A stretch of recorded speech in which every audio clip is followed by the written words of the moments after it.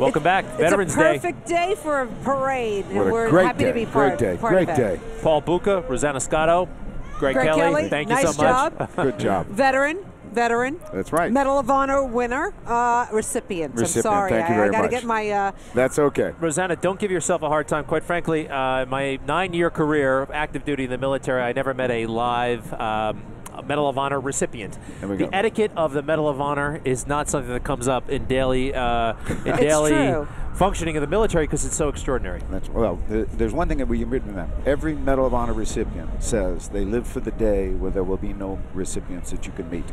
Because that means we've stopped giving this medal, which means we finally found peace. And that's sort of the ultimate wish. Right now, we have young kids that are receiving it and they're alive and participating. And when they walk into a room, their contemporaries are in awe. It's special. Dakota, uh, and the others are just representing this war and their compatriots well. well, we're meeting such very special people today. People with great stories. Uh, what experience they have. They have amazing backgrounds, and then we have Mike Woods, our meteorologist. Be nice.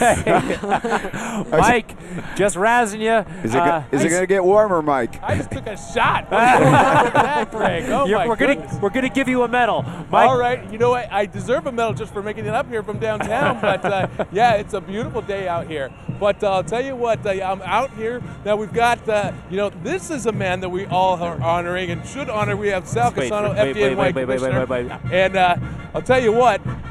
You are something else. Now, now you were a veteran. Tell us when you served, what you did, I was uh, served in Vietnam from 1966 to 67.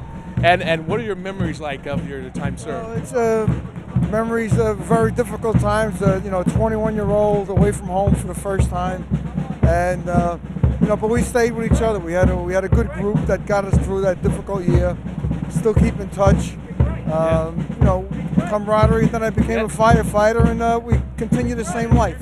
And, and, and I got to tell you, you know, a lot of folks know you and they appreciate the work that you do, and you do a lot of work with the veterans, you know, in the years the years since. So uh, tell us what that's like. Sure. Well, uh, you know, we came home from Vietnam. We were sort of forgotten a little bit, and most of our Vietnam veterans have assured uh, young men and women that come home now aren't forgotten. Wounded warriors and their families are taken care of. Because that's something that's very near and dear to your heart, the wounded warrior. Absolutely. Uh, the FDNY has embraced the wounded warriors. Uh, you know, after September 11th, so many of these young men and women joined because of what happened to the uh, fire department, the police department, and we owe a debt of gratitude to them. And we will make sure that they are not forgotten, their families aren't forgotten. And if there's anything they need, we're going to provide it to them. And they're always welcome. The FDNY is a big family. Always welcome. They can stop at any firehouse. They can come have a cup of coffee, have a meal with us. All right. And that's what we share. I may come and join you there as well. Well, thank you for your service and all that you do, Sal. Thank you, Mike. It's great to have you out here. Pleasure to be here on a beautiful day honoring veterans. Exactly, and we got a lot more to come here as well. So,